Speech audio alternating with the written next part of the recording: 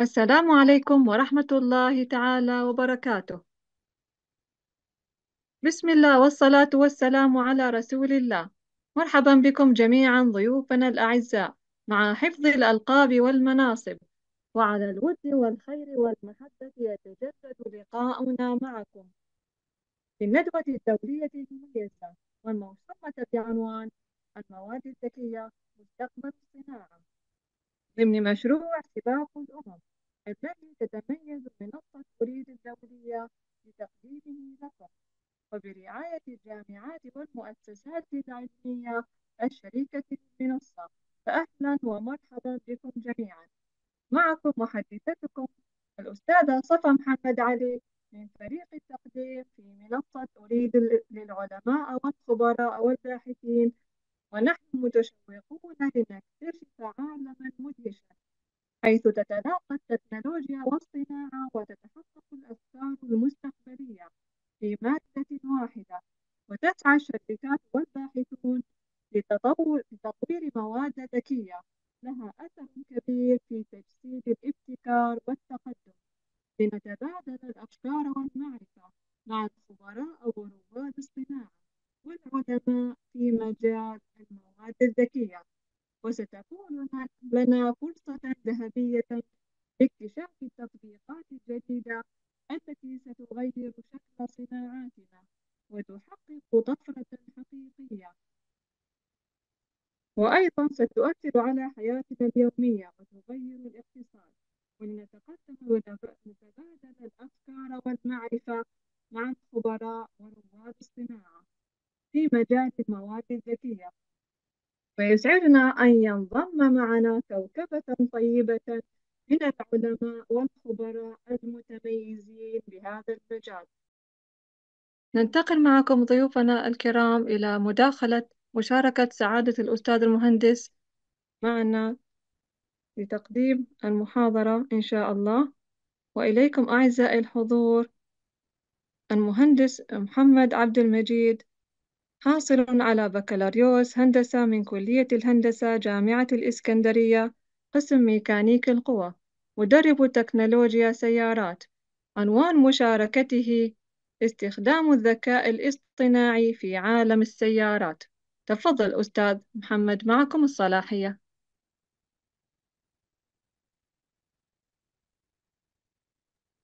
السلام عليكم.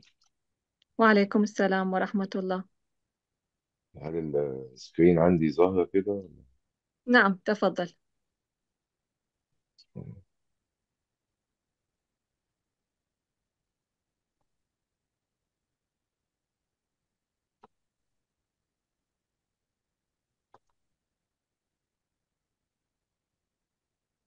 بسم الله الرحمن الرحيم. آه، محدثكم آه، مهندس محمد عبد المجيد.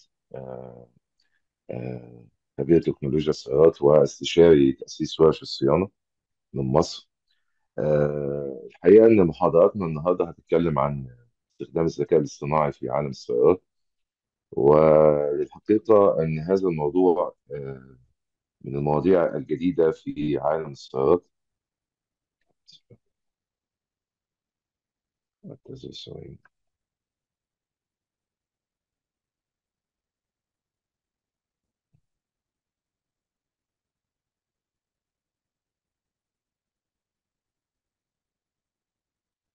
آه، الحقيقة إن إحنا بنستخدم آه، الذكاء الاصطناعي في السيارات آه، لهدفين في العموم. الهدف الأول هو استخدام الذكاء الاصطناعي بالتوافق مع أهداف التنمية المستدامة واستخدام الطاقة المتجددة وتقليل استخدام مصادر الطاقة التقليدية وبالأخص البنود رقم 7 و13 في أهداف التنمية المستدامة وهي الأهداف التي تم الاتفاق عليها في آه، اتفاقية الأمم المتحدة عام 2015 آه، السيمينار هيتناول عدد من المعلومات آه، لماذا نحتاج استخدام الطاقة النظيفة في السيارات؟ وما هي علاقة ال- الذكاء الاصطناعي بهذا الأمر؟ ولماذا أصلا آه، بنستخدم ال- ال- الذكاء الاصطناعي في السيارات؟ وما هو الهدف من ذلك؟ آه، الحقيقة إن إحنا آه، في فيديو قصير بس آه، هعرضه على حضراتكم عن استخدام الذكاء الاصطناعي عن سوري عن ال- التلوث الناجم عن السيارات والأبخرة والتلوث الناجم عن سيارات الطاقة التقليدية.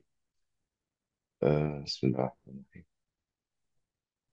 آه، الحقيقة أن ال- أن السيارات آه، تمثل آه، حوالي آه، 25% من آه، نسبة التلوث الحادث في العالم. آه، هل ثواني هل هل ال- ال- الصورة ظاهرة أمام حضراتكم ولا في آه، أي أي اختلاف؟ عشان هتكلم هوصف ال- الفيديو وأنا بتكلم فهل الصورة ظاهرة ولا آه، أستاذة صفاء هل الصورة ظاهرة؟ نعم نعم ظهر دكتور. الله تفضل. آه، طبعا ال ال هناك العديد من ال- الملوثات آه، وهناك عدد أيضا آه، من ال- السيارات التي تسير في العالم حاليا عددها 1.2 من عشرة مليار سيارة. طبعا هذه السيارات بتمثل وسيصل عددها عام آه، 2035 ل 2 مليار سيارة. هذه السيارات تمثل حوالي ما نسبته 20 إلى 25% من آه، التلوث ال- أو البصمة الكربونية في العالم آه، أو التلوث الناتج آه، الذي يسببه العوادم أو ال emissions الخارجة من السيارات. وأيضا هناك تأثير غير مباشر لصناعة السيارات يسمى بال- باللغة الإنجليزية ripple effect أو التأثير الغير مباشر لأن لن نقدر بالضبط أن نحدد ما مدى التلوث الذي تحدثه السيارة الواحدة آه، على البيئة؟ آه، لأن العمليات الصناعية نفسها التي بنقوم بها لإنتاج السيارة آه، بتعتمد على الطاقة ال- الغير متجددة. آه، فبالتالي آه، فاستخدام أو إنتاج سيارة واحدة بيؤدي إلى المزيد من هذه الانبعاثات الضارة بالبيئة. آه، طبعا المتوسط السيارة الواحدة آه، بتنتج حوالي 17 طن من اللي هي بتعمل بالطاقة التقليدية آه، من السي أو 2 ال- أو ثاني أكسيد الكربون الملوث إلى آه، البيئة.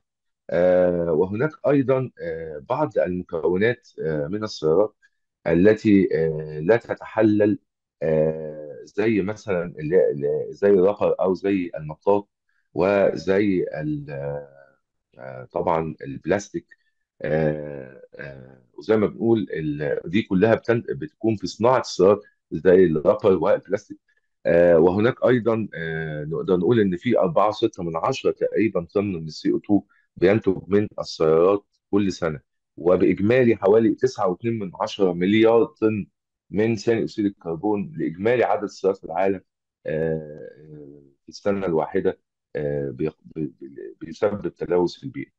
أيضا هناك مشكلة في السيارات وهي عملية التحلل ال- ال- أو تحلل مكونات السيارات بنواجه فيه مشكلة كبيرة طبعا. آه، إن طبعا في بعض أجزاء من السيارات بتاخد أعمار أو عمر طويل جدا حتى تتحلل. يعني طبعا آه، عندنا مثلا آه، الجزء بتاع ال- الكاوتش مثلا أو الرابر التايرز بتاخد ما بين 50 ل 80 عام حتى تتحلل. في المكنة نفسها بتاخد حوالي 500 عام حتى تتحلل. في ال- السيتس آه، أو ال- الكراسي بتاخد حوالي 1000 عام لتتحلل ال- ال- الزجاج ما بيتحللش أصلا. آه طيب إحنا إيه الهدف بقى من إن إحنا زي ما بقول لحضراتكم نعمل ذكاء اصطناعي؟ آه إيه ال الذكاء الاصطناعي بهذا التلوث اللي إحنا اتكلمنا عليه دلوقتي ده؟ الحقيقة يا جماعة إن الإنسان لازم نعترف إن هو أضر بالبيئة وكان آه سبب مباشر في تلوث البيئة فأصبحنا محتاجين إن إحنا نعمل آه، ميثاق أو أسلوب جديد لقيادة السيارات اللي هو بينطبق على ال ال ال ال بينطلي على المبادئ والأخلاقيات. يعني إيه المبادئ والأخلاقيات؟ طبعا إحنا جميع البشر آه، بيقوموا بقيادة السيارات يعني ملايين من البشر في أو مليارات من البشر في العالم بيقوموا بقيادة السيارات. آه، ولكن آه، لما نيجي نعمل يا جماعة آه، برمجة للعربية أو نعمل لها ذكاء اصطناعي إن إحنا نخلي العربية تقود بنفسها فإن الغرض إن إحنا نخلي العربية نعمل لها ليرنينج أو تعليم إن هي نفس تسوق نفسها العربية تقود نفسها زي ما هنشوف في أحد الفيديوهات دلوقتي آه، العربية تقود نفسها ونديها تعليم إن هي يبقى عندها أخلاقيات في القيادة وإن هي تلتزم بقواعد القيادة آه، إذا كان الإنسان نفسه ما بيلتزمش لا بالحفاظ على البيئة ولا بقواعد القيادة لا يبقى إحنا نعمل بقى ليرنينج أو نعمل تعليم للسيارات بحيث إن هي نفسها آه، تبقى تحافظ على البيئة رقم واحد والحاجة الثانية إن هي تقود بالاثكس أو بالأخلاقيات للإنسان المثالي. آه، طبعا هنتكلم آه، عن هذا الموضوع. آه، زي ما بقول لحضراتكم ال- الغرض الأساسي هو تحقيق الأهداف الخاصة بالتنمية المستدامة وبالأخص الهدف 7 و13 وأيضا استخدام أو الحفاظ على الأمان أيضا. زي ما بقول لحضراتكم لما بنيجي نطبق الأخلاقيات في عالم قيادة السيارات فإحنا بنحافظ على أمان المواطنين. وعلى أمان السائق وأيضا على آه، الحفاظ على الاقتصاد نفسه لأن طبعا ال- السيارات أو صناعة السيارات تمثل جزء كبير جدا من الصناعات الوطنية و ال- لو جينا كمان قيمنا وجود حوادث أو وجود آه، مشاكل على الطرق أو وجود النقل نفسه بيمثل قد إيه من الاقتصاد العالمي هنلاقي إن النقل بيساهم على الأقل بنسبة 20% من الاقتصاد العالمي. فالحفاظ على النقل هو آه، آه، أو الحفاظ على قيم النقل وأخلاقيات القيادة هو آه، الغرض الأساسي من تطبيق آه، آه، تكنولوجيا الذكاء الاصطناعي في السيارات. آه، طيب فوائد الذكاء الاصطناعي في السيارات ذاتيه القيادة آه، إيه هو باختصار يعني آه، الهدف الأول هو زيادة مستوى الأمان آه، زي ما بقول لحضراتكم إن إن طبعا آه، لما لما العربية بتقود نفسها آه، بنحاول إن إحنا نوصلها لليفل عالي جدا أو مستوى عالي جدا من الأمان يفوق القي- آه، أساليب القيادة لأمهر لأمهر السائقين. آه، طيب وأيضا إدارة حركة المرور بشكل ذكي. يعني هنشوف برضو فكرة كده عاملاها شرطة أبو ظبي في إدارة ال- ال- عملية المرور دي برضو آه، وأيضا القدرة على التنبؤ بالحوادث أيضا مطلوب جدا آه، في آه، الذكاء الاصطناعي إن إحنا نقدر نلحق الحادثة قبل ما تحصل. وده أحد الأغراض المهمة أيضا لاستخدام تقنية الذكاء الاصطناعي. خدمة ذوي الاحتياجات الخاصة. إن طبعا آه، إخواننا ذوي الاحتياجات ما بيقدروش طبعا ما عندهمش القدرة على القيادة ولكن يقدروا في السيارات الذاتية للقيادة يبقوا متواجدين ويقدروا ن- ننقلهم ونوديهم من أماكن لأخرى. آه، برضو ده أحد أهداف آه، فوائد الذكاء الاصطناعي في السيارات آه، وأيضا زي ما قلت لحضراتكم الحفاظ على الاقتصاد في النقل الحفاظ والتوفير أيضا في وسائل النقل وأيضا التقليل زي ما قلنا من الحوادث والنقل الآمن والمستدام اللي هو بيحافظ على الاقتصاد العالمي. هنشوف بعض النماذج لتطبيقات الذكاء الاصطناعي طبعا في نموذج جميل جدا هو آه، الشرطة في أبو ظبي. آه، طبعا كان في بحث كده أنا طبعا قريته وهي تجربة جميلة جدا زي ما بقول لحضرتك وهي آه، آه، الغرض منها كان إن الناس هناك في أبو ظبي شافوا إن الحوادث آه، عالية جدا في السيارات النقل آه، من العام 2015 إلى العام 2020 وكان في أحداث آه، ووفيات واصطدامات كبيرة جدا آه، في آه، في الفترة من العام 2015 حتى العام 2020 آه، فقام الناس هناك بعمل دراسة آه، إزاي إن إحنا نقلل هذه الحوادث في أبو ظبي. آه، وطبعا أبو ظبي من ال من ال آه، من الولايات أو الإمارات التي يعني تتميز بتعدد الجنسيات. يعني هناك آه، بيقال إن عدد السائقين هناك من حوالي آه، 200 جنسية. فطبعا الناس دي آه، بأخلاقيات وباساليب قيادة تختلف. كل دولة فيها أساليب قيادة بتختلف عن عن الأخرى يعني. فلقوا إن عدد الحوادث هناك كبير جدا آه، لدرجة إن إن إن كان في يعني عدد يقارب من 1000 حالة وفاة سنة 2015 آه، فلقوا إن الحل إن إحنا نعمل منظومة آه، مراقبة ذكية للطريق. إزاي نعمل منظومة مراقبة ذكية للطريق؟ إن إحنا نبتدي نستخدم آه، كاميرات رادار وأشعة تحت الحمراء لمراقبة المخالفات وأسلوب اللي هو ال eagle eye أو عين الصقر عشان نراقب هذه السيارات والمخالفات التي تقوم بها. ثم بعد ذلك يأتي دور ال- الذكاء الاصطناعي الذي يقوم بربط هذه المخالفات بلوحة القيادة وأيضا هوية السائق. آه ليه؟ طبعا بيعمل إيه بقى هنا الذكاء الاصطناعي؟ طبعا عن طريق الربط مع ال GPS أو نظام التتبع العالمي. آه بيبدا بيحصل ان ان إن الذكاء الاصطناعي بيبتدي يحدد طبيعة هذه المخالفة وعدد تكرارها. يعني مثلا ممكن يلاقي ان إن في مخالفة سرعة. ثم بعد ذلك مخالفة آه، هي حادثة. فيقوم الذكاء الاصطناعي بتحليل هذه المخالفات ثم يقوم بعمل عدد من النقاط السوداء. لو تجاوز آه، السائق عدد معين من هذه النقاط السوداء تقريبا حوالي 24 نقطة آه، بيتم إلغاء الرخصة. وأحيانا وده كل ده بيتم برومبتلي يعني بيتم لحظيا لأن الذكاء الاصطناعي بيشتغل.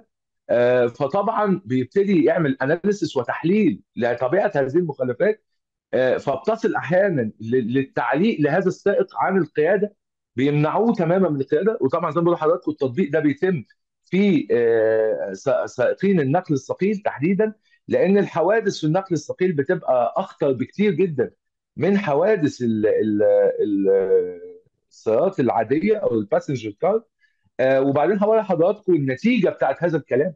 إن سنة 2015 آه، في أبو ظبي كان عدد الاصطدامات آه، 22000 أو أو 222000 اصطدام. بعد تطبيق هذه ال- التقنية اللي هي الذكاء الاصطناعي وتقليل نسبة الحوادث بشكل كبير جدا وصلنا سنه 2020 إن عدد الاصطدامات كان 3700 حالة فقط ان إن كان في عدد وفيات وصل ل 675 حالة. آه، في سنة 2015 و725 حالة في 2016 وصل بس عدد هذا العدد للوفيات لستة فقط سنة 2020 نفس الشيء في الإصابات. كنا بنتكلم في 700 حالة وصل العدد لزيرو إصابة في سنة 2020 وهكذا. يبقى قدرنا إحنا يعني شوفوا يا جماعة هنا بقى قدرنا إحنا الذكاء الاصطناعي وبتحديد منظومة هذه المخالفات وبالنظام الحازم والدقيق لتحديد المخالف. وطبيعة هذه المخالفة إن الراجل ده عنده مشكلة فيبقى الراجل ده ما ينفعش يسوق. إن الراجل ده أنا ممكن أديله فرصة إنه يسوق وكل ده ما بيخشش فيه التدخل البشري. الذكاء الاصطناعي بيقوم بتحليل هذه المخالفات وبتحليل هذه المشاكل وبناء عليه السواق يا إما يكمل سواقة أو يتم تعليقه أو السسبنشن أو يتم حتى احالته للقانون في حالة عمل حادثة أو أو عمل مشكلة مع الماره في الطريق.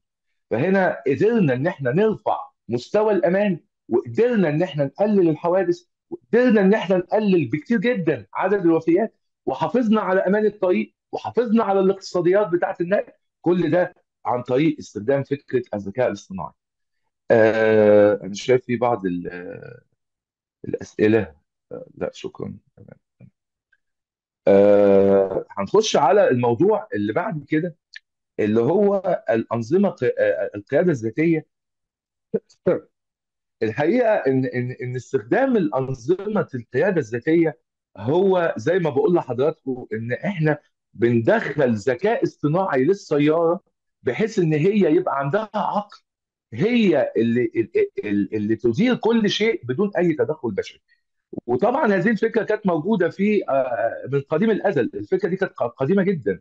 ولكن أعيد تطبيقها حاليا آه، وأيضا كانت موجودة في الطيارات وما زالت موجودة اللي هي ال autopilot أو أو الطيار الآلي. آه، كان ال- الزمان أو كان التطبيقات في ال technology في عالم السيارات بتسير إن إحنا نعمل تكنولوجيا كويسة جدا وعالية جدا للحفاظ على الأمان ولكن آه، الأمان أو القيادة بتبقى في إيد السائق. طب السائق لو هو بنسبة كبيرة برضه مش فاهم قواعد القيادة. هل هذه التكنولوجيا وهذه وسائل الت- التقدم الحديثة للحفاظ على الأمان هل لو اديتها لسائق لا يعلم أو أو عنده آه، علم قليل ب- ب- بالقواعد الأمان وال- والقيادة هل هيحافظ على السيارة وهل مش هيعمل حوادث؟ لا هيعمل حوادث برضه يبقى اذا أنا لا ده أنا بقى هنا جاءت الفكرة إن أنا أعمل عربية ذات ذكاء اصطناعي وهي تتبرمج من نفسها. هي السياره زي ما هنشوف في أحد ال- الفيديوهات دلوقتي إن هي بيبقى فيها عدد من الحساسات أو السنسورز آه، بتبقى شايفة ال obstacles أو أي شيء معوق في الجناب أو في الأمام أو في الخلف. وأيضا بيبقى فيها ما يسمى بالرادار. آه، طبعا الرادار هو آه، وسيلة لايضا تحديد ال obstacles أو ال- ال- أي معوق لهذه السيارة وكاميرات والكاميرات دي بتربط بالذكاء الاصطناعي لتحليل يعني الذكاء الاصطناعي بياخد كل هذه ال data من الرادار ومن ال- ال- ال sensors أو الحساسات والكاميرات ويقوم بعمل تحليل لهذه البيانات ثم يقوم بقيادة السيارة بناء على هذه البيانات. طيب ده ده أنظمة القيادة الذاتية، زي ما بقول لحضراتكم بيحصل كمان حاجة في أنظمة القيادة الذاتية إن بيبقى في حاجة اسمها ال- التعلم العميق وال nervous system أو الشبكات العصبية. آه، الشبكات العصبية هي جزء لا يتجزأ من الذكاء الاصطناعي والسيارات بيبقى في ذاتية القيادة بيبقى معمول فيها nervous system أو آه، آه، شبكة عصبية طبعا بيكون فيها نظم بتساعد على تفسير البيانات واتخاذ القرارات وأيضا آه، بيتم آه، فيها آه، التعامل مع حالات الطوارئ. يعني ال- ال- الأنظمة ذاتية القيادة بيحصل فيها عدد كبير جدا من السيناريوهات آه، عشان نتجنب ال- الحوادث وعشان آه، آه، آه، يبقى فيها تصور كامل آه، بيسموها في علم الرياضيات الألجوريثم. أو ال- ال- ال- علم الاحتمالات إن العربية بيبقى فيها آلاف الاحتمالات لحدوث تصادم أو أو حدوث حادثة وكل ده بي- بيديره منظومة الذكاء الاصطناعي اللي جوه السيارة. آه وطبعا زي ما بقول لحضراتكم في النهاية كل ده آه هدفه هو تحسين الأمان وتقليل الحوادث على الطريق. آه طبعا آه آه زي ما بقول لحضراتكم برضو آه، إن بيحصل فيه حاجة اسمها عملية البرمجة العصبية آه، والتعلم العميق. التعلم العميق ده بيخش فيه حتى ال- الدكاترة الدكاترة النفسيين والدكاتره الذين يفهمون في الطبيعة البشرية. اللي هو إزاي حضرتك ممكن تتصرف في موقف آه، في آه، حادثة أو موقف آه، في آه، مثلا حضرتك آه، ماسك موبايل مثلا أو أو آه، ذهنك مشتت أو أو إن أنت آه، على وشك إن أنت تنام أو كل هذه السيناريوهات بتبقى موجودة في السيارة، السيارة بتبقى عارفة إن أنت ممكن تنام، السيارة بتبقى عارفة من خلال قراءة ال ال ال الانعكاس بتاع الأشعة على العينين بتاعة ال- ال- السائق. إزاي أنت آه، آه، يعني حالتك عاملة إيه؟ كل ده بيتم برمجته في السيارات ذاتية القيادة. آه، أيضا آه، آه، السيارات بقى في نوع من السيارات آه، اللي هي آه، بتاخد الأوامر بالصوت في بعض السيارات اللي هي كل حاجة فيها بتبقى بتدار من خلال الأوامر الصوتية آه، هذه السيارات برضو بيتم برمجتها آه، عن طريق نبرة الصوت آه، بيقدر السائق يدي اوردرز أو أوامر للسيارة آه، مثلا بتشغيل التكييف مثلا ب آه، تشغيل الموسيقى مثلا بإجراء مكالمة مثلا آه، بفتح بعض ال infotainment أو إن أنت مثلا في بعض ال videos أو أي حاجة. كل ده بيتم من خلال الأوامر الصوتية. برضو في في بعض السيارات اللي هي بقى مش ذاتيه القيادة ولكن اللي موجود فيها ذكاء اصطناعي عشان يفهم يعني دي دي سيارات بتبقى آه، آه، بتعتمد على وجود سائق ولكن آه، بتعتمد على وجود الصوت لاعطاء أوامر للسياره. هنشوف آخر حاجة معانا اللي هي ال- الفيديو بتاع السياره الويمو دي اللي هي عملتها شركة جاكور وهذه السياره موجودة في الولايات المتحدة وبتديرها شركة يعني مش عارف يعني ما افضلش أقول أسماء في شركة للنقل يعني أو لنقل الركاب اللي هي أوبر يعني هي بتدير ال- ال- السيارة الويمو دي.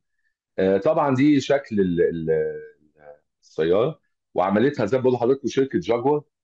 آه، وطبعا هنا بيقول لك إن فكرة السيارة ال- ال- ذاتية القيادة دي قديمة جدا زي ما بقول لحضراتكم ولكن آه، ما كانتش متطبقة بالفعل من من حوالي 70 سنة تقريبا. ولكن ما كانتش متطبقة بالفعل من حوالي 70 سنة.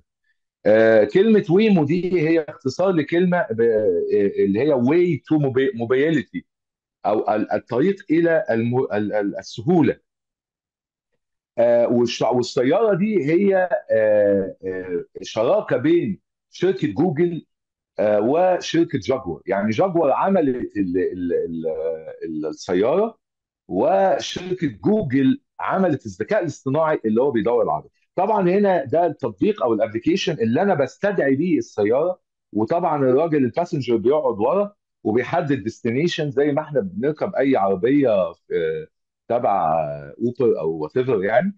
آه، بن- بنركب في العربية وبيبقى فيها سائق والسائق بيودينا ال destination طبعا هنا آه، الس- السيارة دي يا جماعة بتاخد آه، كل ال information بتاعتها من ال GPS وبتبتدي تتحرك بناء على destination بيديه لها ال- ال- ال- العميل أو ال client وبتقف هي زي ما إحنا شايفين أهي. يعني بيبقى في مثلا intersection أو تقاطع طريق أهو. العربية طبعا عن طريق ال sensors والرادار اللي إحنا شفناها دي أهي. هوريها لحضرتك اهي ال sensors وال radars دي أهي. أيوه دي. أيوه أهو ده بيبقى فوق اسمه ده رادار وبيبقى فيه طبعا أهو. ده رادار أهو. أهو. كاميرات رادار وكاميرا وفي sensors بتبقى في الجناب. آه وزي ما بقول لحضراتكم العربية دي بتقف في ال intersections وبتبتدي تتحرك برضه مع إشارات الطريق. آه والحقيقة زي ما بقول لحضراتكم هذه السيارات بتبقى آه فيها برمجة عصبية آه إن هي بتبقى فيها كل أنواع سيناريوهات القيادة. آه، آه، يعني زي ما بقول لحضراتكم حد مثلا بيعدي قدام العربية حد آه، مثلا آه، محتاجين إن إحنا نهدي في أماكن ما ينفعش نزود فيها سرعة محتاجين نسرع يعني طريق مثلا على سرعة 60 العربية هتشتغل على سرعة 60 لوحدها آه، وهكذا. آه، طبعا هنا ال- الكاميرات زي ما إحنا بنقول بتبتدي تحدد ال obstacles وبتدي بعد كده لل control أو الذكاء الاصطناعي اللي بيبتدي يقرأ ويعرف آه، آه، إيه ال- المفردات بتاعة الطريق اللي إحنا ماشيين فيه ده وبالتالي وبالتالي بناء عليه يقدر يحدد ال- ال- السرعة المطلوبة أو مثلا أهو واحد فتح الباب مثلا أهو أو مثلا بيجي منظر زي ده كده ده obstacle أو عائق قدام الطريق فبتبتدي بقى الشكل اللي على الشمال ده ده ال analysis اللي بيحصل للذكاء الاصطناعي إن هو بيبتدي يحط مجموعة ال algorithms أو ال ال السيناريوهات المحتملة عشان يمشي العربية عليه آه إن طبعا بيجي طبعا هناك حد اللي هو الراجل بتاع المرور بيعدي الناس فطبعا العلامة دي لازم العربية تشوفها وتبتدي تعمل السيناريو بتاعها عشان العربية تفضل تكمل في الطريق. آه طبعا ال ال ال ال برضه الأشعة تحت الحمراء بتبتدي برضه تشوف ال- ال- الم- المواطنين وهم بيعدوا الشارع. هنا بقى يا جماعة ال ال القضية الجدلية بقى إن إن العربية دي أحد العربيات اللي هي مش الويمو يعني عربية تانية عملت حادثة سنة 2023 آه وطبعا لما العربية الذكاء الاصطناعي دي عملت حادثة آه طبعا كانت مشكلة هناك وبعدين في ولاية كاليفورنيا في في الولايات المتحدة. فطبعا آه الناس هناك آه قالوا هنعمل سسبندد آه للعربيات دي. آه طبعا آه آه، وابتدى يبقى في حملة ضد عربيات الذكاء الاصطناعي. قالوا العربية دي عملت حادثة وبتاع ف... فطبعا ما ينفعش إن إحنا نسيب العربيات دي تسوق تقو... نسيبها تمشي في الشارع. وابتدى يبقى في حملات منظمة آه، بتعارض إن العربيات دي تمشي. الكلام ده حصل في نهاية العام الماضي. هنشوف حتى آه زي ما بقول لحضراتكم في آه، في فينيكس وسان فرانسيسكو في الولايات المتحدة. آه، والراجل ده مدير تطوير مشروع ال- ال Waymo فهو بيتكلم في حاجة بقى بيقول يا جماعة طب إحنا عشان حادثة واحدة آه، بدأنا نهاجم ال- العربية ذك- الذكاء الاصطناعي. طب ما بالكم بقى إن في 13000 حالة وفاة نتجت من إن في سائقين آه، كانوا drunk أو مخمورين وهم بيسوقوا. وفي 6000 حادثة حصلت من سائقين كانوا نايمين السكة. وتوتال وإجمالي حوادث حوالي 42 43 ألف حالة وفاة في 2022 آه، طب أنتوا يا جماعة أنتوا جايين آه، بتزعقوا وعاملين مشكلة عشان حادثة واحدة عملتها عربيه الذكاء الاصطناعي. فطبعا آه، الفكرة هنا إن إن طلع ناس تقول لك إيه؟ آه، إن أي تكنولوجي أو أي أي حاجة جديدة لما بنيجي آه، آه، بنطبقها في الأول آه، آه، بنلاقي لها معارضة وهجوم شديد. يعني مثلا من التاريخ من التاريخ يعني إن جاليليو العالم اللي هو اكتشف كروية الأرض لما قال إن الأرض كروية آه، ال ال ال ال آه، رجال الدين في إيطاليا وقفوه وعملوا له آه، اعتقال في بيته ومنعوه إزاي تقول كده والكلام ده غير حقيقي و و و لغاية لما توفى في مكانه وهو بيتوفى كان بيقول لهم إن الأرض كروية وثبت إن فعلا الأرض كروية. هو ده الفكرة يا جماعة إن إن إن إن ال- إن ال- إن السياره ذاتية القيادة اتهاجمت جدا آه، في الولايات المتحدة آه، آه، رغم إن هي عملت حادثة واحدة لكن العربيات التانية بتعمل كمية حوادث رهيبة ولكن هي دي الفكرة. إن آه، آه، مستر أليكس روي اللي هو مدير التطوير في المشروع بتاع الويمو ده آه، بيقول إن إن طبيعة الإنسان إن هو بيقاوم التغيير وبيقاوم آه، فكرة آه، الجديد. يعني أي حاجة جديدة في الأول الإنسان بيبقاش مقتنع بيها ولكن بعد كده الناس بتتعود عليها وبتطبقها. يعني هو بيقول مثلا لو كان في المنطاد بتاع الزبلين ده لو إحنا كنا حطينا فيه غاز تاني غير الغاز اللي كان فيه الهيليوم ده كانت هتبقى المنطاد ما كانش هيحصل له حاجة. يعني كان ده كانت أول تجربة منطاد يطير. وطبعا زي ما بقول لحضراتكم أهو الناس اهي اللي هي واقفة دي. الناس دي عاملة مظاهرات أهي. انها بتقول لأ ال- العربيات ال- ذاتيه القيادة دي. هم الناس دول أهو. بيقولوا إن العربيات دي خطيرة وما ينفعش إن إحنا نمشيها في أمريكا. آه، هي دي الفكرة يا جماعة إن إحنا آه، دايما كده أي فكرة جديدة بتبقى الناس مش مستوعباها في الأول. ولكن آه، بعد فترة من الزمن الناس بتبتدي تستوعب وعادي جدا إن إحنا نركب في عربيه نلاقي العربية بتقود لوحدها. آه يعني مثلا ده واحد أهو برضه كان من اللي هم الناس اللي هم رافضين وجود العربية حط ال- ال- ال- القرطاس ده قدام العربية الويمو. فطبعا ال- العربية شافت إن ده اوبستكل أو عائق فطبعا فضلت العربية دي واقفة مكانها يوم كامل لغاية أما جاء الفني عمل reset لل control units بتاعتها عشان العربية تتحرك. ده كان حد برضه رافض وجود هذه العربيات آه، فزي ما بقول لحضراتكم هي الفكرة ان ان ان إن أحيانا الإنسان بيقاوم فكرة التغيير وبيقاوم فكرة الت- التقدم ولكن لما نيجي نقرأ وده برضه شخص أهو آه، مسك آه، آلة حادة وابتدى يكسر في العربية برضه آه، زي ما بقول لحضراتكم كده فكرة مقاومة التغيير ومقاومة إن إحنا آه، نب- نعمل أفكار جديدة في عالم السيارات. طب إحنا لما نيجي نتكلم عن أرقام الأمان عفوا في في في أيوه يا فندم. عفوا دكتور أعتقد أن الوقت قان- اقترب إلى الانتهاء. طيب أنا خلاص أنا أنا أنا خلاص كده أنا بنهي يعني. هو طبعا زي ما بقول لحضراتكم ال- ال- الموضوع كله كان آه، في اختصار شديد إن سيارات الذكاء الاصطناعي هي المستقبل وإحنا صحيح حتى لو كان في معارضة أو هجوم على هذه السيارات حاليا ولكن آه، في القريب العاجل اللي هو 2030 2035 عدد هذه السيارات هينتشر من آه، من في كل دول العالم. وهتكون وسيلة لتقليل الحوادث وزيادة الأمان وتحسين المستوى الاقتصادي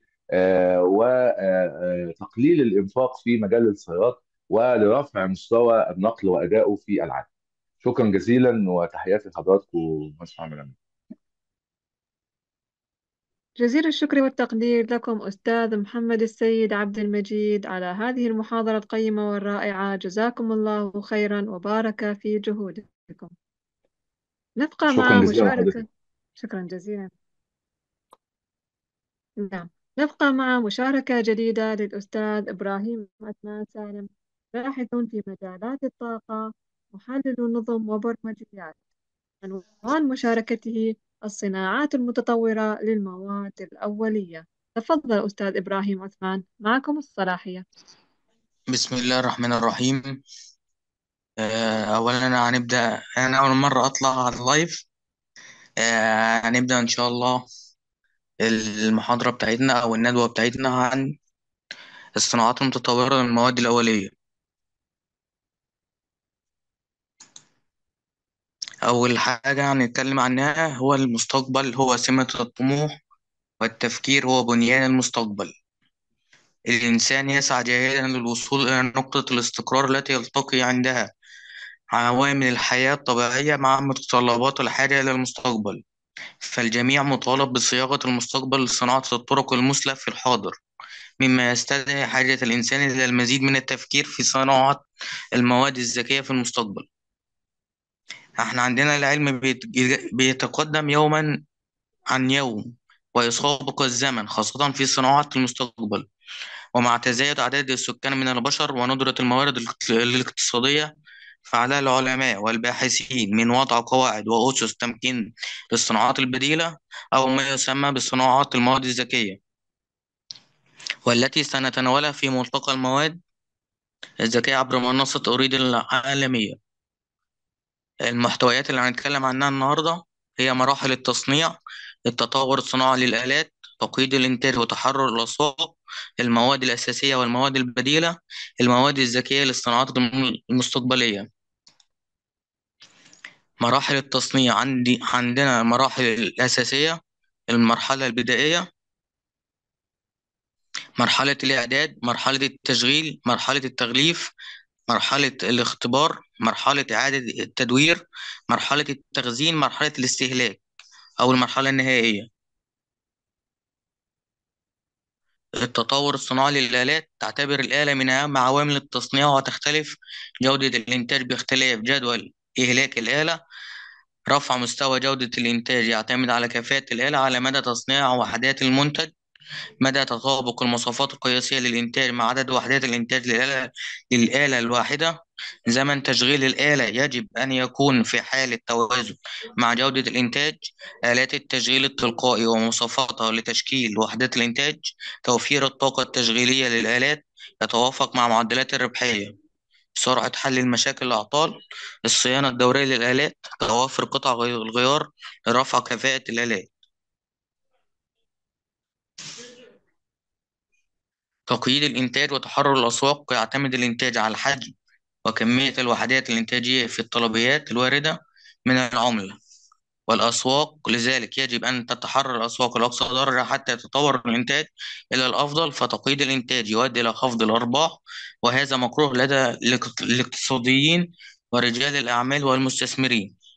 فالإنتاج مقيد بمواصفات ومعايير محددة لكل وحدة أو صنف أو سلعة. تنوع الوحدات الإنتاجية يؤدي إلى تحرر الأسواق بينما تت- تتضخم كميات الإنتاج في الأسواق يؤدي إلى انهيار اقتصاديات الإنتاج وتقييد الأسواق بسع... بسع... بسلع محددة. تناسب التوازن الاقتصادي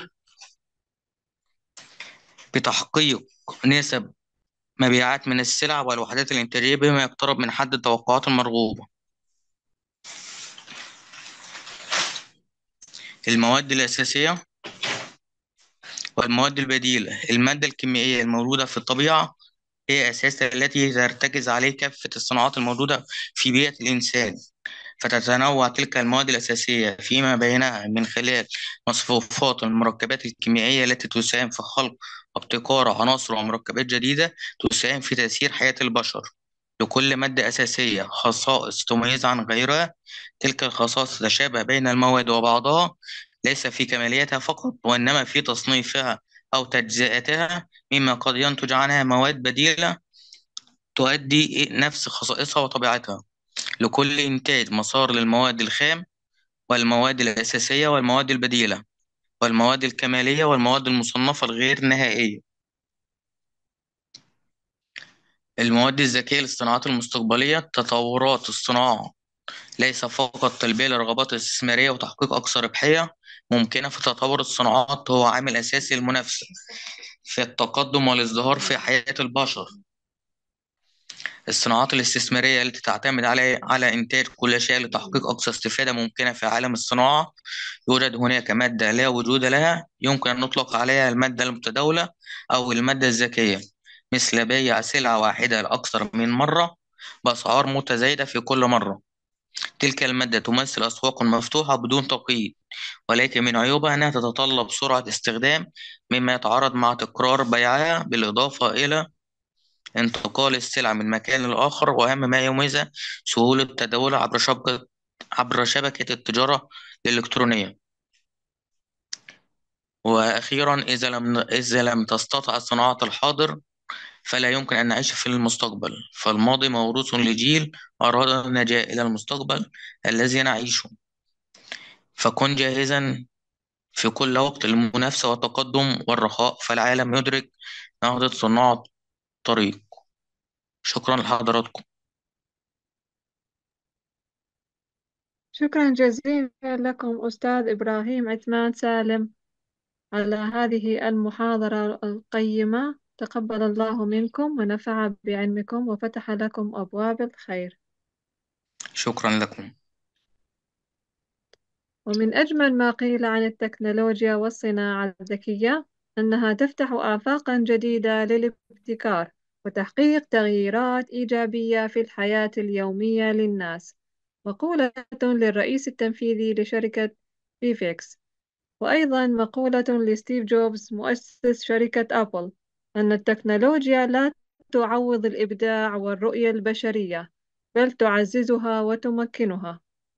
نبقى مع مشاركة جديدة لسعادة البروف فريد الخطيب من جامعة الأزهر من كلية العلوم بأسيوط قسم الفيزياء علوم المواد. وتفضل سعادة البروف معكم الصلاحية. السلام عليكم ورحمة الله وبركاته. وعليكم السلام ورحمة الله وبركاته. آه، البرزنتيشن واضح عند حضراتكم ولا لا؟ نعم واضح. بارك الله فيكم. تمام. آه، طبعا في المقدمة جميعا وسعيد إن أنا أكون معكم النهاردة. وطبعا كانت آه، أنا قدمت على عنوان محدد للمشاركة. ولكن آه، لظروف معينة خاصة بالمنصة آه، كان الرد النهاردة على حوالي الساعة خمسة مساء. فكان الوقت آه، قليل جدا إن أنا أجهز حاجة خاصة بالعنوان اللي موجود. لكن كان ال- ال- خيار إن أنا يا أما ما أشاركش مع حضراتكم أو أشارك آه، بمعنى عاوزين نوثقه لدى آه، كل الباحثين. آه، هو عدم الانبهار بالمسميات العلمية المتداولة. يعني النهاردة آه، آه، عاوزين نربط ما بين تسمية المواد آه، ال- ال- الذكية والأصل فيها إيه. يعني نحن انبهرنا كان مشاركة المهندس من شوية السيارات الذكية والأستاذ إبراهيم برضك بعديه بشوية كان المواد وتأثيرها في الحياة وكده. هل الإبداع زي ما كانت بتتكلم الأخت إن هو الإبداع ده مش في المواد. الإبداع ده آه، صاحبه هو الإنسان. ال- ال- الصفات الموجودة هنتعرف النهاردة فعلا على بعض يعني آه، هنعرج على بعض ال- الخصائص بتاعت المواد لكن الأساس فيها مش هي آه، مش الخاصية الموجودة في المادة دي. الخ... ال... الإبداع والذكاء في اكتشاف هذه الخصائص وتوظيفها للارتقاء بالحياة يعني هستاذن حضراتكم عنوان النهاردة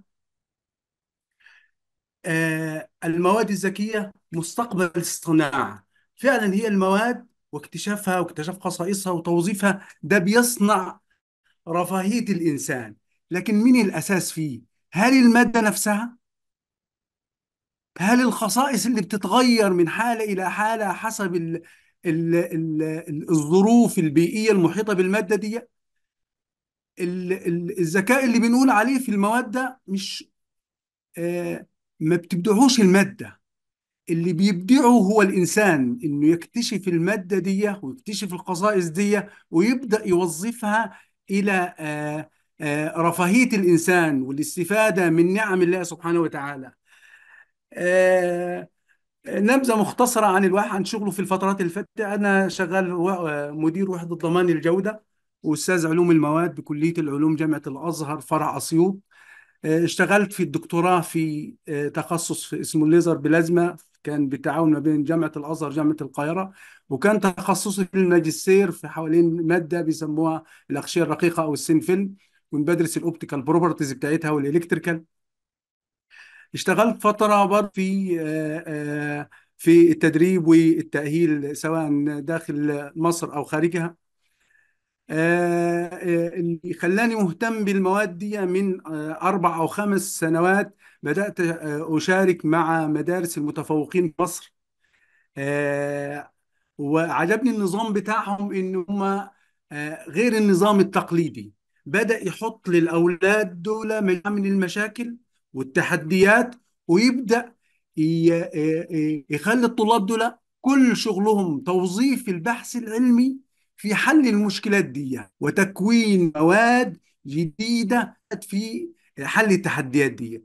آه، آه، ده الفكر اللي نحن عاوزين آه، يعني حتى في مستوى التعليم الجامعي بنفتقده هيا إنه برضك نظام التعليم ال- آه، التقليدي آه، ال- ال- المعتمد على الحفظ ومعتمد على التدريس العادي دون إبداع دون توظيف المواد تلقانا بنتاخر جدا وده سبب من أسباب عدم مواكبتنا للعلوم الحديثة. بدليل إنه لما بيطلع مننا بعض الطلاب وبيتم يعني أنا شفت م- مجموعة من الأمثلة من طلابنا آه، لما بتتاح لهم الفرص والبيئة المحيطة بيبدعوا. يعني لما بنشوفهم آه، آه، آه، مثلا في مدارس المتفوقين دي بيبقى مجموعة من ثلاث سنوات مختلفة.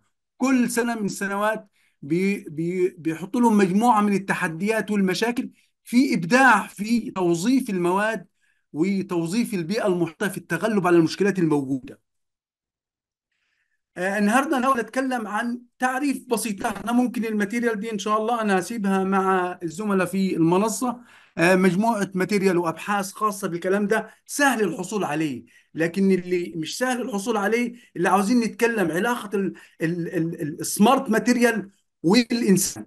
آه، إمكانياتنا إحنا في العالم الثالث في المجال ده بالذات. يعني لما كنا نتكلم على مجال النانو ماتيريال ونحن طيب إمكانياتنا كعالم ثالث وهنتواكب مع الدول المتقدمة إزاي؟ فبدأنا ندور على آه، طرق بسيطة بإمكانيات تتناسب مع بتاعتنا ومعامل الأبحاث ونبدأ نوظفها التوظيف الأمثل وده الإبداع. يعني الإبداع مش إن أنا أبدأ أدور على أنا عاوز معمل بمواصفات معينة عشان يديني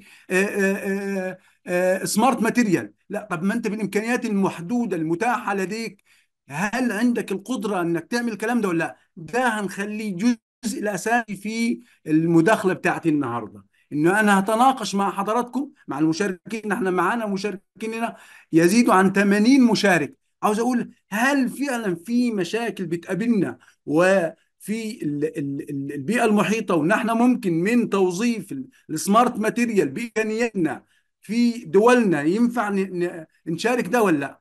وهل من المتخصصين أنا شايف برضك بعض الزملاء آه، المتخصصين آه، داخل من المشاركين في المدخ... في في اللقاء بتاع النهارده. عاوز أسمع منهم. ونتشارك جميعا. يعني كان يمكن الهدف الأساسي أو أحد الأهداف من المنصة إنها مش... المشاركة. المشاركة في المعلومة المشاركة في الإمكانيات المشاركة في البحث.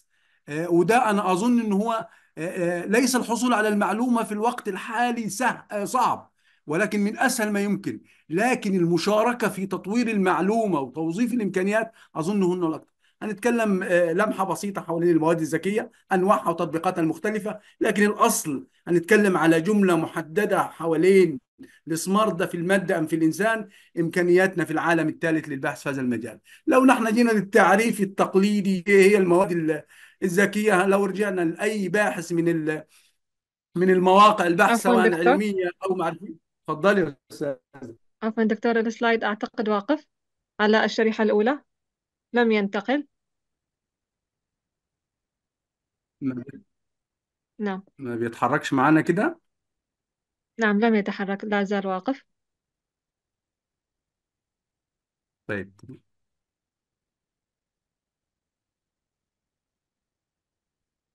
طيب لو ممكن أبعت لك ال presentation تعرضيه من عند حضرتك ما فيش مشكلة.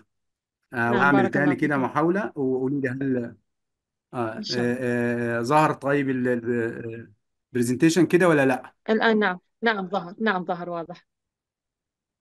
ظهر. طب. لو آه، يعني كمعلومة عامة عاوزين نعرف إيه هي المواد الذكية هي ببساطة خالص هي نتيجة من نواتج آه، التطور في تخصص اسمه علم المواد. إنه نحن لما بدأنا خالص في بداية ال- الناس اللي كانت شغالة في الفيزياء وحتى لفظ علم المواد آه، يعني لفظ عام آه، بيضم أكثر من تخصص. يعني يدخل فيه الناس اللي شغالة في الفيزيكس الناس اللي شغالة في في الكيمياء الناس اللي شغالة في البيولوجي الناس اللي شغالة في الهندسة اللي شغالة في ال- البناء يعني علم يعتبر آه، يتداخل فيه أكثر من تخصص علمي. المواد الذكية هو تطور للعلم ده علم المواد ونتيجته إنه تم استخدام أو تطوير ال- ال- المواد اللي تم دراستها في مجالات مختلفة في مجال الفضاء والطب والهندسة والإنشاءات كلها مثلا وهنلاحظ مثلا من ضمن الحاجات اللي بتقابلنا دلوقتي إن الجماعة اللي شغالين في الهندسة بيقول لك المواد الهندسية الجديدة مواد آه، مش عارف تتأثر بالحرارة ويتغير لونها وشفاء يعني هنلقى فيه المعلومة دي الحصول عليها سهل جدا. المواد الذكية بعضهم عرفها إنها هي اللي بتظهر ارتباط ما بين مجالات ماد- مادية متعددة زي المواد المائية اللي بتنتج تيار كهربي اللي بتنتج طاقة م- بتتحول من الطاقة الحرارية إلى جهد ميكانيكي أو العكس. آه، توصيف المواد دي بنمذجة رياضية كلها ده داخل تحت مسمى المواد الذكية. اللي هي بي- ينتج منها إيه؟ ينتج منها سمات هندسية مرتبطة بالمواد دي يتم توظيفها في مجالات الحياة المختلفة. بعضهم قال على المواد الذكية هي مواد معالجة هندسيا تشعر وتتأثر بالظروف المناخية المحيطة. آه أنا بصنع مواد لما بيبقى محتاج إن أنا أحافظ على الحرارة هي تتفاعل وتستجيب لي. لما أحاول تتفاعل مع الضوء وتتأثر بيه وتأثر فيه هو كلها دي تحت المسميات بتاع المواد الذكية أو السمارت ماتيريال لها خواص يمكن أن تتغير وتتعدل بشكل مسيطر عليه بمؤثرات خارجية. تتأثر بالضوء تتأثر بالحرارة تتأثر بالضغط. المؤثرات اللي اللي واضحة زي الضوء والحرارة والرطوبة القوى الميكانيكية المجالات الكهربية المجالات المغناطيسية. التأثيرات دي بتغييرات في خصائص المواد عشان أنا أوظفها التوظيف الأمثل في آه، مسارات الحياة. هو الفكرة في العلم مش هو الحصول على المعلومة فقط. الأصل في العلم إن هو يرتقي بخدمات المواد اللي يستفيد منها الإنسان تؤدي إلى رفاهيته. فالتغييرات دي اللي بتتأثر به المؤثرات الخارجية بتغير من خصائص المواد دي وتغير في المواد دي بيأثر فيها زي تأثير الطاقة الحرارية زي تأثير الطاقة الضوئية زي تأثير الطاقة الميكانيكية. كلها دي عشان تديها خصائص جديدة يتم الاستفادة منها. يعني مثلا على سبيل المثال لما بنقول دلوقتي في أنواع مختلفة لتأثير المواد الذكية إنه لما تتأثر بضوء معين يتغير لونها إنه لما تتأثر عليها درجة حرارة معينة تزيد مقاومتها تزيد استقبالها للضوء تزيد انعكاسها للضوء كلها دي توصيف للمواد لو بصينا برضك نظرة عامة على تصنيف المواد الذكية ممكن بنصنفها من حيث الخصائص إنها متغيرة الخصائص إنها محولة للطاقة إنها. بتتغير الشكل بتاعها بناء على المؤثرات الخارجية الخ... الأنواع المواد الذكية دي في أنواع كثيره خالص مواد مشعة للضوء معادن ضوئية معادن كهربية كلها وكل نوع من الأنواع دي لو نحن فتحنا المجال ليه هنلقى فيه توظيفات وتطبيقات كثيرة. لكن ال... ال... الهدف من ال- ال- المداخلة بتاعت النهارده مش تخصصي تخصص حضارات ممكن تفيها كل تخصص من ده مثلا من تحويل على الضوء آه، تحويل لكن هدف مداخلتي توظيف هذه العلم وربطه بإمكانيات الإنسان. يعني لما تغيرت الخواص تتغير الألوان تتغير الأشكال والإنسيابية بتاعتها مواد تحول الطاقة سواء محول الطاقة محول الطاقة ضوئية حرارية كهروضغطية إنارة كهرباء مغناطيسية. تمام كل المواد ده والعلوم ده إحنا ممكن نشتغل عليها. إنه المواد الذكية إنها تتحول من الروبوتات متناهية الصغر إلى أزياء تتلون حسب المزاج. ده كله اللي هو توظيف الخصائص وتأثير الخارجية على المواد. حضراتكم ممكن نبدأ فيها لكن اللي أنا عاوز أركز عليه النهارده بالإضافة للمميزات اللي بنبص عليها مثلا نقول لك إيه خاصية في المادة يمكن توظيفها وتصبح ذكاء للمادة. هو مش ذكاء للمادة هو معرفة لهذه الخاصية وهذه المؤسسة. يعني لما نبص على بعض مميزات الماء القدرة على التغير والتحول. إيه الميزة المقابلة ليها التغير والتحول بما يلائم الظروف المحيطة والمتغيرات البيئية. لما صنع مواد لبلاد آآ آآ آآ درجة حرارتها منخفضة. يبقى أنا عاوز مواد عازلة حراريا تحفظ لي الحرارة داخل الأماكن. كلها دي هي بحث واكتشاف لخصائص موجودة. الحساسية والقابلية التطور وإزاي أنا بوظفها كميزة من مميزاتها انها دي خصائص فيزيائية تتغير لي في الشكل وتغير لي في اللون وتغير لي في درجة اللزوجة وتاثير تأثرها بالمحفزات الخارجية والداخلية. كلها توظيف للمواد. أنا يعنيني النهارده إن أنا أركز على حاجة. ان الاصل في الحاجات دي ليست مواد عقل الذكي اكتشف هذه الخصائص. يعني لما نبص على بعض المسميات اللي بنقول عليها مواد ذكية هنلقاها موجودة في الطبيعة. لما نبص على نبات زي نبات اللي بيسموه دوار الشمس أو ده أحد المواد اللي إحنا بنقول عليها اللي بتتأثر بالضوء وتتحرك أهو نبات الشمس. نبات يعني سبحان الله من آلاف السنين إحنا عارفين بيتأثر ويدور مع تأثير جب دي استجابة موجودة خاصية موجودة في المادة.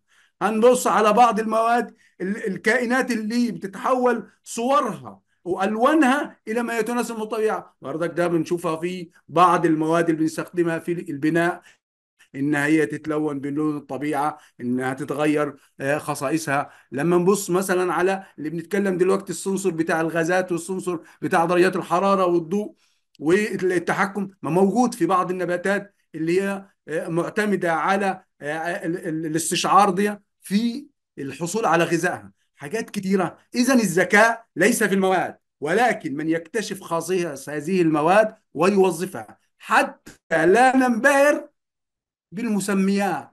وننسى العقل. إنه الأشياء دي دي خصائص موجودة داخل المواد. خصائص ربنا زرعها دي إحنا اللي بنكتشفها وبنوظفها. في نهاية لقاء النهارده. عاوز أفتح النقاش مع حضراتكم على بعض التجارب الموجودة من الأساتذة والزملاء الموجودين معانا. إزاي من الإمكانيات عاوز بعض الأمثلة من المواد المحيطة بينا والإمكانيات المعملية اللي موجودة داخل معاملنا البسيطة اللي ممكن تنتج إنتاج غير عادي نوظفها في مجال المواد الذكية. هل يسمحوا للزملاء المسؤولين عن المنصة نفتح باب الحوار مع المشاركين؟ نعم تفضل سعادة البروف. تفضل. أنا حابب أسمع مشاركات معنا من الزملاء دلوقتي وصل عددنا ما يزيد عن 97 مشارك. وشايف من حضراتكم ناس متخصصة في ال material science. فأنا عاوز أسمع من هل في معاملنا البسيطة بإمكانياتها دي هل فعلا نقدر نساهم في المجال ده مجال المواد الذكية ولا لا؟ اتفضلوا حضراتكم. وأساس المشاركين القائمين على المنصة لو بتسجل الحاجات دي بحيث ممكن نرجع لها بعد كده ونطلع منها مجموعة من الأفكار يتم التعاون ما بين المشاركين في اللقاء بتاع اليوم. نعم سعادة البروف. اللقاء مسجل على المنصة إن شاء الله سينزل. وأيضا بالإمكان الاطلاع على هذه الفيديوهات على موقع المنصة وأرجو أن يتم رفع اليد لإعطاء الصلاحية للمداخلين إن شاء الله. نعم. أداة ماشي اليد تفضل. موجودة. نعم تفضل دكتور ماجد. آه، تفضل دكتور ماجد. تفضل حضرتك. السلام عليكم. وعليكم السلام ورحمة الله وبركاته. دكتور مجدي متولي بدر معهد بحوث البترول؟ قسم البتروكيماويات معمل البوليمر. material science تمام اتفضل. أهلا بحضرتك. أهلا بحضرتك يا دكتور. ال- بالنسبة لل smart materials في آه، آه، يعني إحنا اشتغلنا على مواد كتير آه، بتعمل خواص ال smart materials دي. يعني في مادة ال hydrogel طبعا معروف تطبيقاتها في ال- في ال- في الزراعة في مجالات الزراعة ومجالات الصيدلة ومجالات الطبية. تمام. دكتور آه، هي الهيدروجيل طبعا بت آه، بت يعني لها قدرة على الامتصاص العالي لل- للماء ف- وتعمل لها إعادة آه، ضخ تاني آه، عند ظروف معينة. فدي تعتبر خاصية إن هي إيه؟ آه، حسب احتياج آه، التطبيق اللي إحنا بنطبقها فيه فبتعمل امتصاص للمادة للماء الأول طبعا بمحتوياته من آه، عناصر من آه، أدوية من حاجات آه، معينة سواء للنبات أو للكائن الحي اللي بيتعالج بيها. آه، وبترجع بتعيد ضخها بشكل مناسب في المكان المناسب بشكل مناسب. دي حاجة. الحاجة التانية في حاجات آه، آه، في ال coating industry يعني لما بنعمل آه، طب ال painting أس- أس- حضرتك يا دكتور ماجد عشان كمان آه، تبقى المشاركات في أعلى درجات الاستثمار. آه، هو الفايدة من الفقرة دي إنه الزملاء الخبراء في ال- ال- المواد الذكية دي هيبدأ كل زميل من الزملاء يقول أنا بعمل كذا والتولز اللي اللي محتاجها عندي متوفرة والزملاء المشاركين لو أي حد مهتم بجزئية من دول هيبقى مسجل اسم ال ال ال الأستاذ المشارك أو اللي بيقول المعلومة عنده ويبقى ممكن بعد اللقاء ده في تواصل لو حابب هو يتعاون معاه في مجال معين أو يتعلم ويستفيد منه في المجال ده. فهستاذن حضراتكم كل مداخلة هتبقى الزميل هيقول لي أنا عندي إمكانيات في المعمل إيه بحضر مواد إيه تطبيقاتها إيه. يعني ثلاث حاجات. اتفضل دكتور ماجد هو كده يعني أنا قلت لحضرتك ال hydrogel في ال smart healing material coating يعني في coating بعد ما يحصل له خدش أو قطع أو حاجات زي كده يعمل healing لوحده آه، آه، يعني معالجة معالجة السطح اللي هو ال coating بتاعه. يحصل معالجة تاني ويرجع زي ما كان في الأول. self-healing material سواء coating أو ممكن بالبلاستيك كمان material. يعني إحنا أصلا polymer polymer material فإحنا نعرف ال hydrogel اللي نعمله وشغل ال coating وال adhesive. شكرا يا دكتور ماجد. شكرا. لحضرتك دكتور. جميل. آه، أسمع مشاركات من الزملاء تاني. إحنا قدامنا بالظبط آه، كام وقت آه، آه، نعم سعادة البروف كام وقت متاح لنا عشان نحدد المشاركة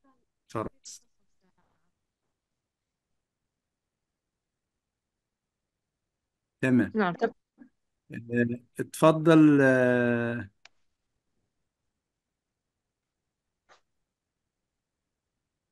اتفضل دكتور آه، معزيف. اتفضل. أستاذ مظفر. السلام عليكم. عليكم السلام ورحمة الله وبركاته. اتفضل آه، آه، اسم مهندس مظفر السبكي آه آه، الصوت واضح اتفضل آه، حضرتك. آه، مهندس ناصر السبكي مهندس ميكانيكا. آه، آه، كنت عايز آه، يعني ألقي الضوء على الم- زي ما الدكتور مجيد قال آه، المواد اللي هي آه، الهيدروجيل دي. آه، أعتقد إن هي مستخدمة آه، دلوقتي ليها تطبيقات. آه، معرفش بقى ده صح ولا غلط.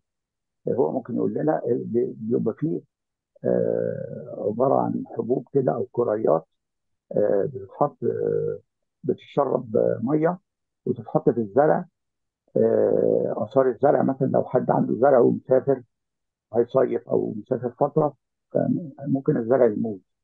ف- فبتبقى عند الناس اللي هم بتوع المشاتل آه، يملاها مية ويحطوها بقى في الاثاري وتبتدي تسرب المية آه، على فترات بحيث إن إيه كأنها بالظبط زي الري بالتنقيط كده فهل هل دي صح ولا غلط؟ آه، جزئية ثانية بالنسبة لمواد ال self-healing هي طبعا ده آه، شغل عشان الخدوش والحاجات دي اتعمل فيها أبحاث آه، عميقة جدا آه، ولكن كنت بتناقش مع أحد الدكاترة فبقول له إزاي يعني كان ده self-healing self-healing ال self-healing ده؟ قال لي ال self-healing ده بيبقى موجود في الخلية الحيوية بس البشرية أو أو الخلية الحيوية يعني سواء الإنسان أو الحيوان أو حتى النبات. إن هو إيه لو حدث آه، خدش آه، آه، بيلم تاني بيعمل- بيتعمل له حاجة اسمها بناء. يعملوا عمليه التئام آه آه ال- التئام ده اسمه self-healing. أما آه التكنيك بقى التكنيك بتاع ما يسمى self-healing لا يطلق عليه self-healing. ولكن ولكن هو نوع من أنواع ال- ال healing بس بيبقى ليه تكنيك معين. آه، بس حاجة غالبا غالبا حضرتك باشمهندس ده بيحتاج مؤثر خارجي تاني عشان يتم إعادة الالتئام على عكس الموجود في الكائنات الحية. آه بالظبط. لا ده ده ليه ليه آه. ليه سبائك سبائك بدرجة معينة بنسب معينة وغالبا بيبقى فيها مادة الكروم والتنجستين وسبائك آه، بيسموها special material يمكن الدكتور آه، يقول الكلام. حاجة ثالثه بقى اللي هي أنا عايز أشوف عايز أفهمها فعلا التطبيقات العملية أو العلم وصل لها ولا لا اللي هي بالظبط ال- نقدر نقول زي ما حضرتك قلت كده تطبيقاتها آه، دي دي موجودة فعلا في الحياة. وبخلق الله سبحانه وتعالى زي آه، دوار الشمس زي آه، لكن أنا عايز أفهم الحرباء اللي هي أو بعض الحشرات اللي تتلون بنفس لون الغصن أو أو لون الورقة. إزاي بيحول؟ أنا عايزين أبحث في كده. إزاي إزاي بيحول نفس درجة اللون بالبيئة المحيطة بيه الانفايرمنت اللي حواليه؟ هل إحنا هل العلم وصل وصل بكاميرات دقيقة جدا يقدر آه، يلقط درجات اللون ويبتدي يحول اللون ده على البدلة اللي هي اللي هي المتغيره في آه اللون. آه الملا آه الملابس الذكية حاليا ده في في آه شغالين في لا أنا عايز الأبحاث أنا عايز آه. الابحاث الأبحاث ما تبقاش كاميرات أنا عايز الأبحاث تبقى مستشارات آه، بالظبط زي الجهاز بتاع آه موجهة آه موجهة للتطبيق. آه. لا آه. لا اقصد أقصد حضرتك معلش. آه، لو تديني اتفضل اتفضل يا باشمهندس. النظرية الحيوية إحنا إحنا إحنا عندنا جهاز حاجة اسمه تحليل المعادن. آه، في في في, في, ال design بتاعنا مثلا عايزين نعمل هندسة عكسية عايزين نعمل أي حاجة. آه، معايا؟ مع حضرتك اتفضل. فبنعمل إيه؟ مع حضرتك بناخد اتفضل اتفضل يا آه باشمهندس. آه فبناخد في الجهاز ده الجهاز ده بيحلل الأطياف ال- الحركة ال- ال- ال orbits بتاعت الذرية وال وال وال وكل الانتقالات دي آه الانتقالات كل أيوه كل. كل نوع. آه عنصر في بصمة خاصة في بيه بصمة خاصة بصمة خاصة في الحركة في في الإشعاعات بتاعته في أعتقد النظريه هتبقى في الحرباء كده إن هي بتستشعر الإشعاعات بتاعت كل ضوء كل ضوء ليه ليه ليه بيسموه إيه؟ طيف كل لون ليه طيف. فقدره ربنا هنا بقى ان إنها تقدر تاخد الأطياف دي كلها وتحللها وتبتدي تحولها للون في جلدها. يعني أنا أنا عايز العلم يتطور كده. هنا بقى يبقى أقول smart material smart design smart design smart body وألف شكر لحضرتك وللمنظمه شكرا يا باشمهندس ربنا يبارك فيك. شكرا لحضرتك.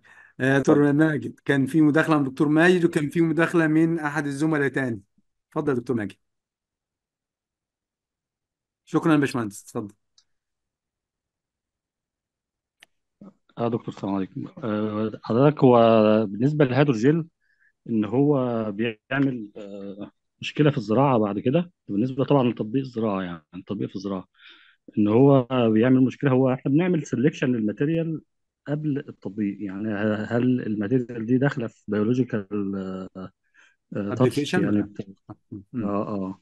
فهو بالنسبة للتربة فهو المفروض إن هو فعلا آه، يحصل له تحلل في التربة بعد فترة أو يحصل له تجميع تاني آه، و وان إحنا نشيله من التربة. يعني بحيث إن هو إيه آه، يعني يا إما إحنا نختار ال material بحيث إن هي تبقى أصلا biodegradable في الأول يا إما إن إحنا نسيطر على الموقف مم. ونشيلها بعد ما نحطها في التربة بف- بالفترة اللي هي- يعني يعني حطيناها موسم موسمين ثلاثة نقدر بعد كده نشيلها بشكل آه، يعني معين بتقوم بمه- بمهمتها في فترة معينة ودون ما تسبب مع- بعد كده مشاكل في التخلص منها يعني. أيوه تمام. لأن هي المجال ده يعتبر هو مش جديد بس بس يعني ما ح- ما حصلش فيه تكامل كويس بين ال- الناحية ال- الكيميائية أو مم. الصناعية والناحيه ال- الزراعية يعني. في عملناه مثلا في في في المعامل وأنتج بشكل كبير وكل حاجة هو مشكلته إن هو يعني يعتبر غالي شوية بس بعد ما بيتطبق بيبقى بيبقى بيوفر آه، مية كتير وبيوفر أسمدة وبيوفر مبيدات بشكل كبير جدا خاصة في الأماكن اللي هي الصحراوية وكده لكن فعلا كتطبيقه في تكلفة الج... الج... الناحيه هل الجدوى الاقتصادية بتاعته آه، هي اللي عالية ده جدوى اقتصادية كبيرة بس بيبقى بيصرف شوية كتير في الأول. فهو الناس يعني معظم الناس بتتجه للزراعة ما بيحبوش يصرفوا كتير في في أول الشغل يعني. فهي الفكرة في كده. لكن هي هو اقتصادي لو استخدم صح. وحتة بقى إن هو يتشال من التربة أو يتسيطر عليه ديت برضو لازم آه، المنتج يكون عامل confirmation على الموضوع يعني.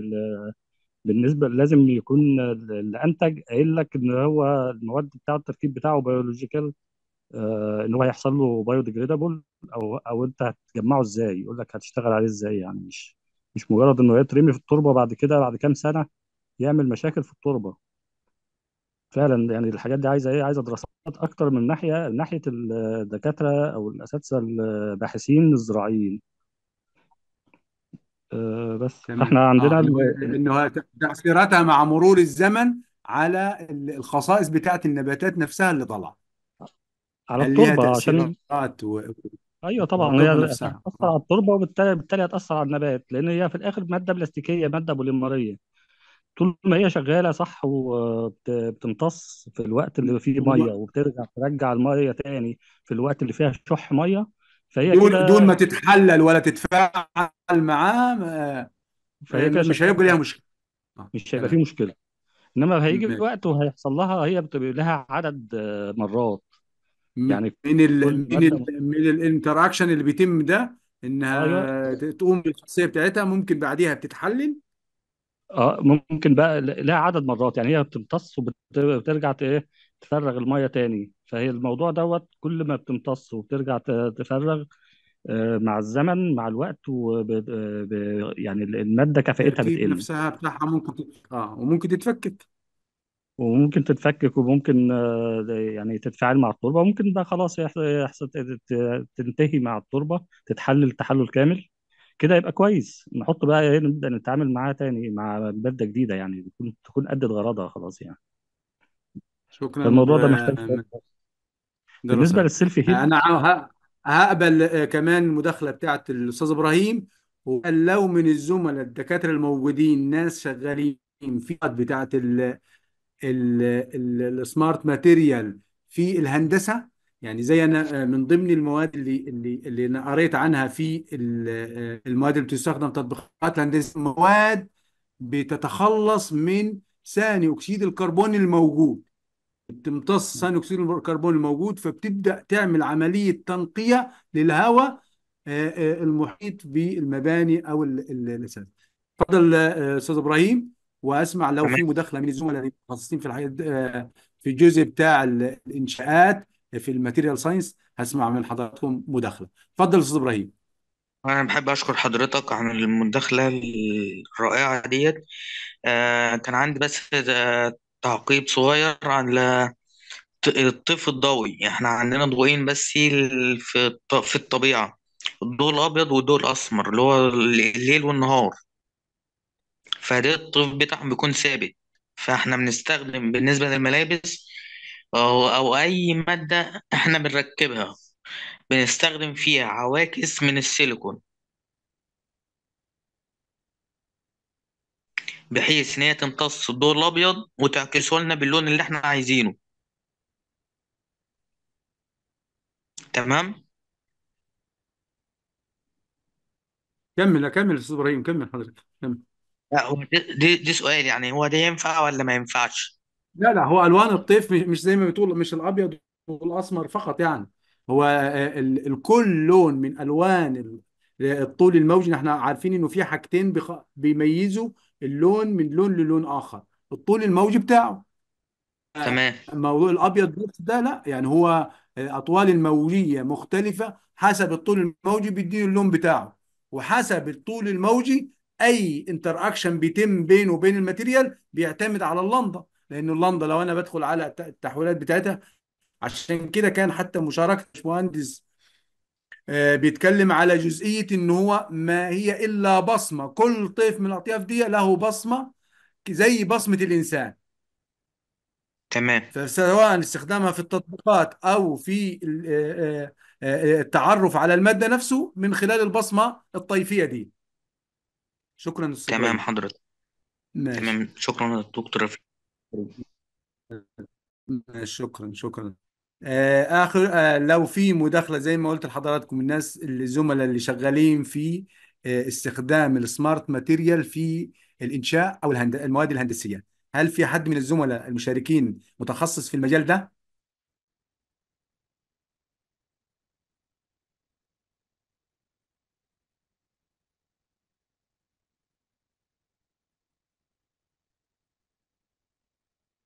ماشي.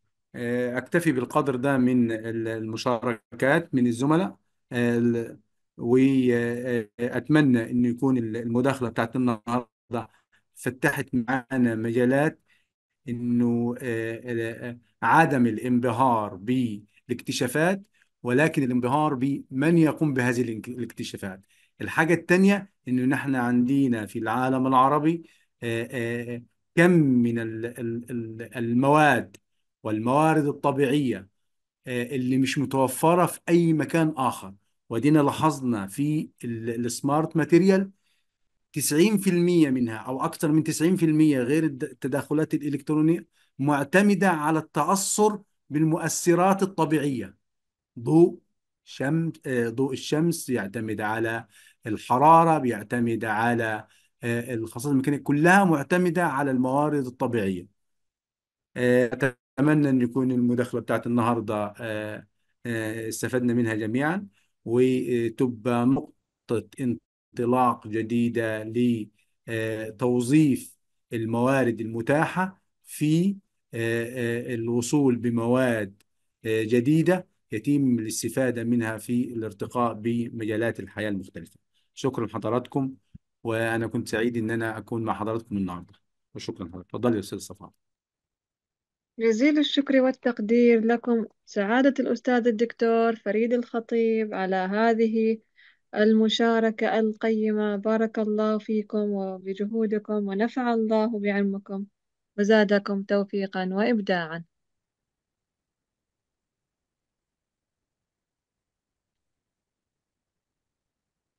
نعم أعزائي الحضور وصلنا معكم إلى فقرة شرح كيفية تحميل شهادة الندوة لهذا اليوم. يقدمها لنا سعادة الأستاذ عدنان قلعجي. تفضل أستاذ عدنان معكم الصلاحية.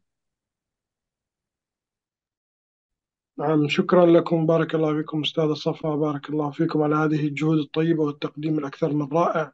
والشكر موصول لجميع الأساتذة المشاركين. بارك الله فيهم على هذه المعلومات الطيبة والمداخلات الرائعة.